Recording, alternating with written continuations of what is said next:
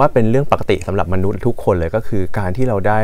ลองเล่นของใหม่ เหมือนได้ของเล่นอะไรครับ แต่บางครั้งของเล่นเนี่ยพอเริ่มเล่นเนี่ยรู้สึกว่ามันยาก ก็เลยเกิดการต่อต้านก็เลยไม่ได้อยากเล่นหรือวางไปโดยปริยาย งั้นเทคโนโลยีในปัจจุบันเนี่ยสังเกตว่าแม้กระทั่งผู้สูงอายุเนี่ยเข้ามาเล่นอยู่เยอะ ก็เพราะว่านอกจากตัวเองเล่นแล้วคนใกล้ตัว แล้วก็สังคมเขาเล่นกันเพื่อนๆเล่นกัน ก็เลยทำให้เขาว่าสนใจเทคโนโลยี เหล่านี้เข้ามามากขึ้น วิธีการก็คือให้เขาคุ้นเคยกับสิ่งที่เขาอะเล่นก่อน เริ่มจากทักง่าย ๆ เลย อย่างที่นิวเล่าก็คือเขาก็จะเริ่มจากการเล่นเกมใช่ไหมครับคราวนี้พอเราเล่นเกมก็คือจะสังเกตว่าเขาก็จะเริ่มสุขสนุกละเวลาเราเล่นเกมเนี่ยมันเป็นเรื่องที่เราเทคโนโลยีอยู่กับตัวเอง แต่พอต่อมาเนี่ยเราอยากมีเพื่อนเล่น ก็เริ่มไปสู่คนใกล้ตัวแล้วก็สังคม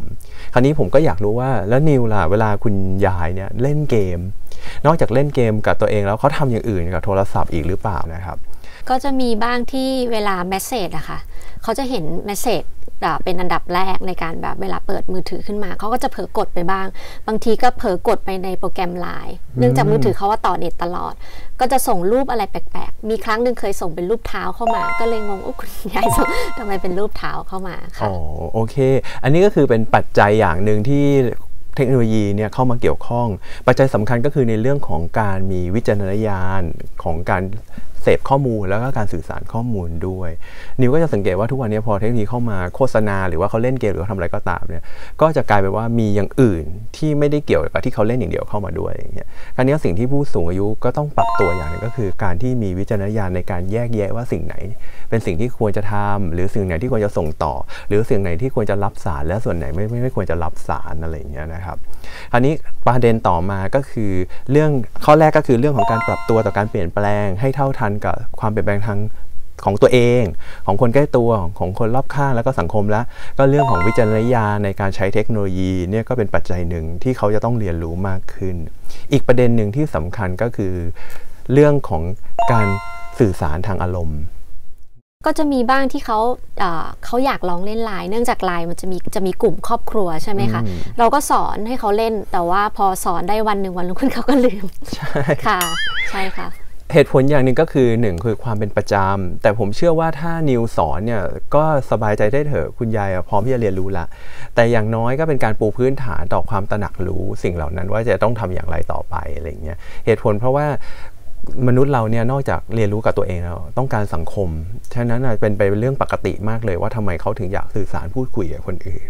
เดี๋ยวนี้เราก้มหน้าคุยกันในไลน์มากกว่า คุยกันต่อหน้าใช่ไหมครับ แต่บางครั้งอะ message บางอย่างอะเรามันไม่ได้สะท้อนอารมณ์สักเท่าไหร่อะไรอย่างเงี้ยก็อย่างเช่นเวลาหลานส่งข้อมูล หรือว่าพิมพ์อะไรมาทางทางเทคโนโลยีทางคอมพิวเตอร์หรือว่าแม้กระทั่งทางไลน์หรือทาง message ช่องอื่นๆเนี่ยก็ต้องแสดงอารมณ์ด้วยนะ ปัจจัยนี้ก็คือความการเติมเต็มทางด้านอารมณ์ของผู้สูงอายุเหมือนกัน ที่อย่างเคยเห็นก็คือในเรื่องของการที่เขาตอบรับอ่า เวลา message shopping อะค่ะอืมตอบรับที่จะโอเคซื้อสิ่งนั้นอะง่ายแล้วก็เผลอกดไปอะไรเงี้ยค่ะ ก็จะมีประเด็นนี้ค่ะอืมอันเนี้ยปัญหาแรกนี่คือเรื่องของการรับข้อมูลโดยไม่ได้ตั้งใจค่ะใช่ไหมครับ งั้นวิธีที่เราจะต้องแก้ปัญหาเหล่านี้ก็คือบางครั้งเราอาจจะต้องตั้งการตรวจสอบ การยอมรับสักหนึ่งถึงสองรอบในฝั่งเราเองต่อมาก็คือบางอันเนี่ยถ้าเป็นโปรแกรมที่เข้าสู่เว็บไซต์เนี่ยมันมีให้เราตั้งเรื่องของการ block pop-up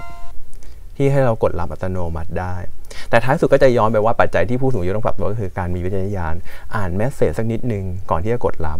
อีกกรณีหนึ่งเนี่ยเนื่องจากเรียกว่าเป็นมาตรการการคุ้มครองผู้บริโภคเลย สมมุติถ้าเราเกิดสั่งซื้อมาแล้วเนี่ยมีหลายช่องทางมีมีหลายเว็บไซต์หรือแอปพลิเคชันเลยให้เราบอกยกเลิกได้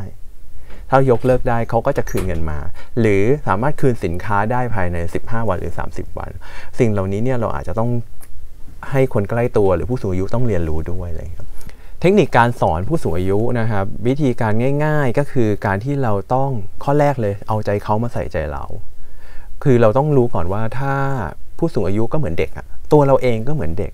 วิธีการก็คือต้องให้เขาเห็นว่ามีความสำคัญอย่างไร มีประโยชน์อย่างไร แก้ปัญหาเขาได้อย่างไร